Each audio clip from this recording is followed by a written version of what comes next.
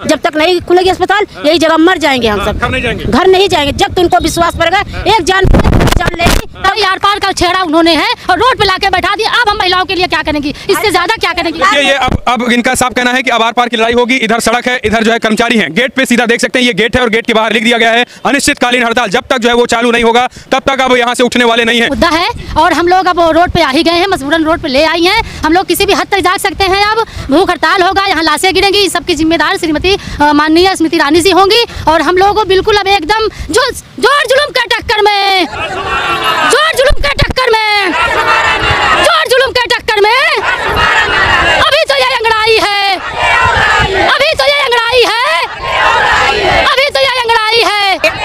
लूट का अड्डा है तो अस्पताल लूट का अड्डा है तो क्या स्मृति ईरानी राहुल का यहाँ आई थी अमेठी क्या राहुल गांधी उनको भी लूटे थे?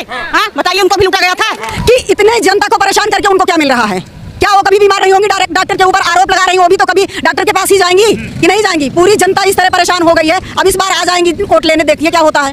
तो बिल्कुल नाराज़गी है। जब तक आपके अस्पताल को चालू नहीं कर बिल्कुल। याचना नहीं अब लड़ होगा। याचना नहीं अब लड़ होगा। याचना नहीं अब लड़ होगा। हम लोगों को एकदम मजबूर कर दिया देखते हैं इनको तत्काल निलंबन को वापस लेना चाहिए। नहीं इस बार अमेठी जनता चौबीस के चुनाव में जिस तरह इन्होंने अस्पताल बंद कर दिया है ऐसे अमेठी की जनता उनको बारन वापस लड़ाई होती रहेगी। हाँ, ठान लिए हैं। लिए हैं। अब घर नहीं जाएँगे। घर नहीं जाएँगे उनको हम यहाँ से भेज देंगे विदाई। विदाई। तय है। क्यों भैया?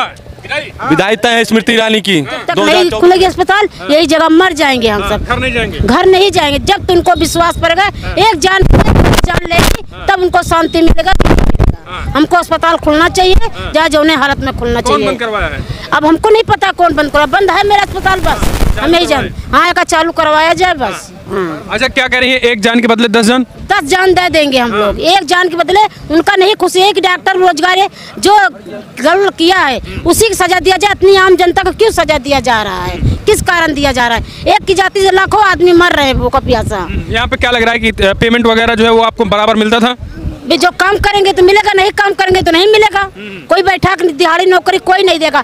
सरकार न अधिकारी कोई नहीं देगा। जब मेहनत करेंगे तब हमको मिलेगा। हमको मेहनत चाहिए हमको खुलना चाहिए अस्पताल कार चालू करे।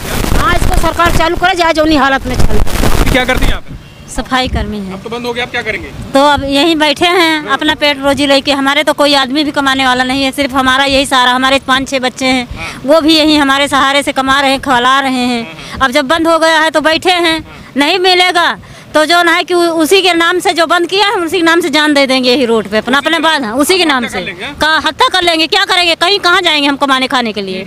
कहाँ जाने जाएँगे? दस साल से तो यहाँ कमा खा रहे हैं। अब कहाँ जा दस साल से हैं।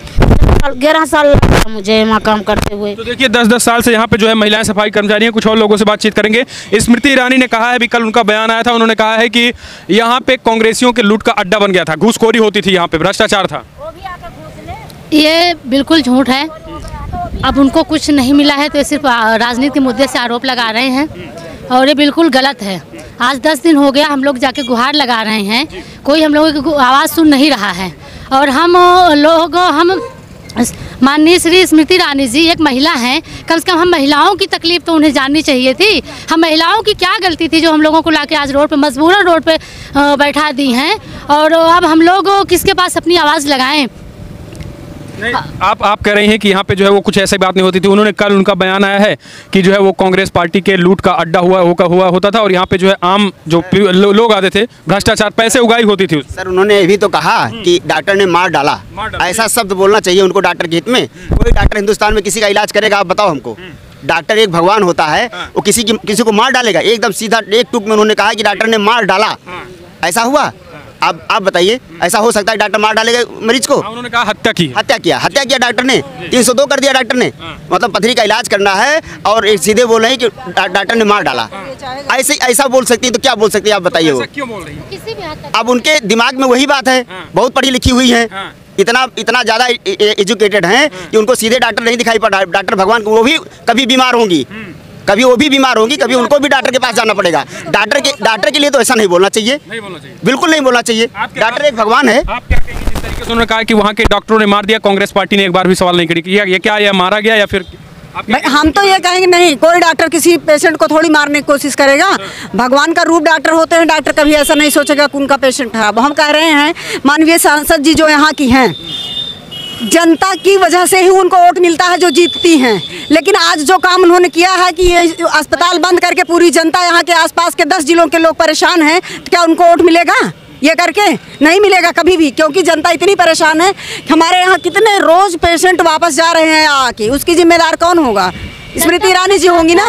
वो कमाने का अड्डा था कमाने का अड्डा ऐसा है ठीक है वो भी ये भी राजनीति में ला रही हैं इसको।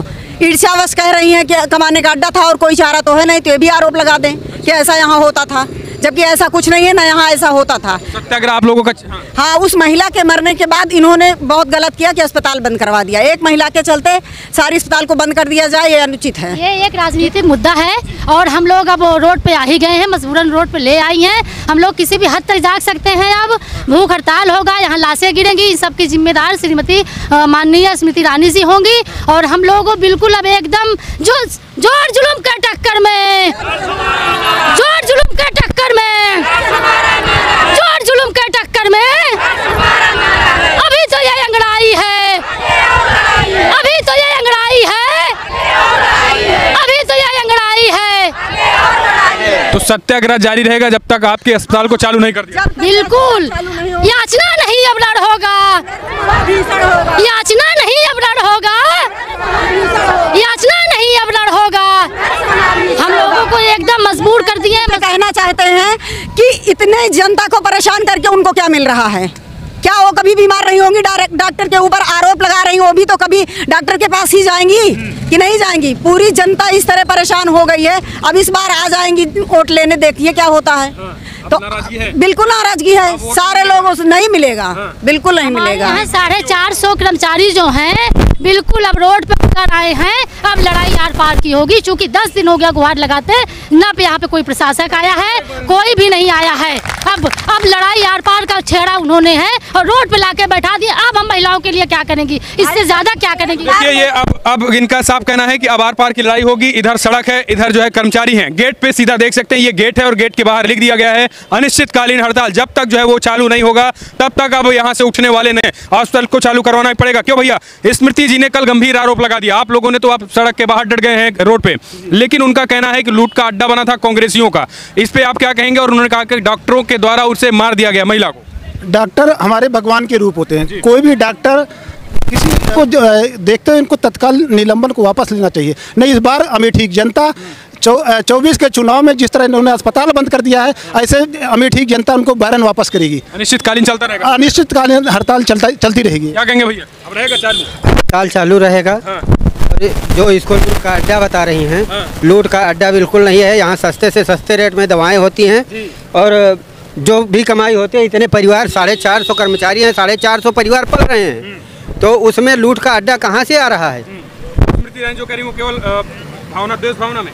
द्वेष भावना में कह रही हैं या कि जल्लाने से कह रही हैं किस तरह कह रही हैं? लेकिन अब जो है इस तरह से कोई ऐसी बात नहीं है। तो क्या कहेंगे आप भैया क्या कहेंगे? हाँ जब तक खुला खुलेगा नहीं तब तक हम लोग बैठे रहेंगे। अब तो कोई सड़क पे ला ही है। अब तो सड़क पे है ही हैं हम लोग। वही होगा। जब तक निलंबन वापस नहीं लिया जाएगा तब तक हम लोग सड़क पर बैठे रहेंगे। वो तो कह रही है कि अस्पताल जो है वो लूट का अड्डा बना अरे तो वो जाँच करके बताएँ कहाँ लूट का अड्डा है वो तो उनको बताना चाहिए ना आप जाँच जाँच कमेटी करें कि किस चीज़ में हम लूट रहे हैं। सबसे सस्ता इलाज यहाँ पे हो रहा है।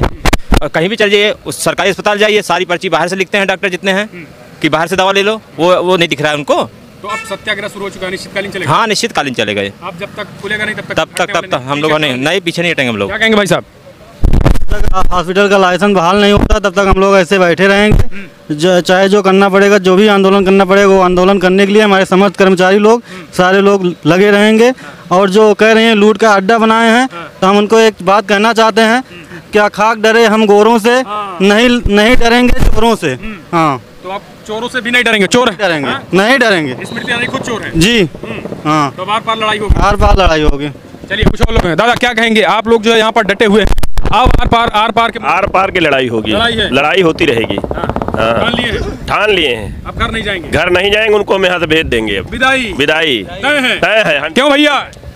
विधायिता है। स्मृति ईरानी की 2024 में। मेरा नाम शिवांशु राणा मिश्रा है।